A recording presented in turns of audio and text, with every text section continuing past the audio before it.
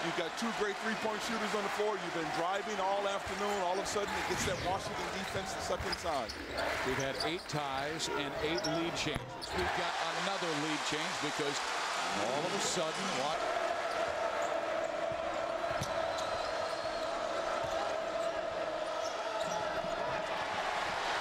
Breakout for Overton. He scores. Great defensive pressure by the Washington will look to go inside here to Aziz and or the ball screen roll. Wide open, Justin Holiday. They were so patient with their offense. They were so patient and everything is coming off the It's a bit further.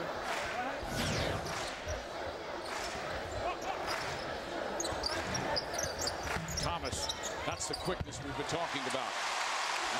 But isn't that what your leaders do? Make big shots at big, no question, gave him some great looks on the perimeter. Holiday inside. That's a new career high 30 points for Matthew Bryant Ammoning. We talked about his presence and how dominant he's been in the paint. I love the way he catches this. He has great poise to let the defensive player go by. Then he scores 30 points, nine rebounds. Turns down the shot, gives it back to Overton. Suggs is running that baseline. The ball screen has got to come. They've made a living out of it all afternoon. Thomas says, I'll do it myself, and he does. And in this case, they come up and they use Holiday with the ball screen. And Isaiah Thomas does a very good job of reading the defense. The lane is wide open. You know, the screens have been right on point. They do a good job of taking out the defender. There's the drive. The lane opens up. And your leader, your captain, finishes a big play at a big time in the game.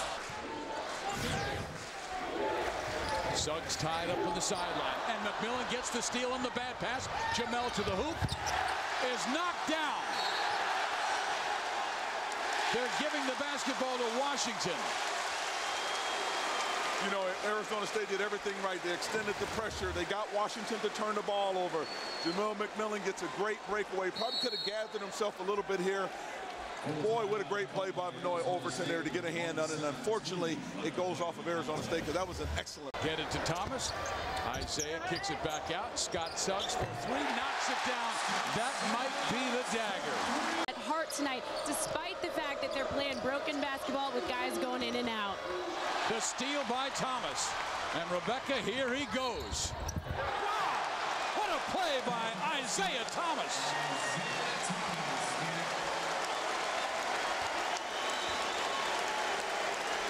Raising the roof at Hec Ed.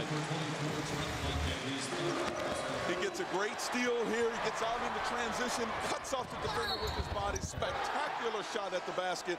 Has a chance for a three-point play. What a... By 13.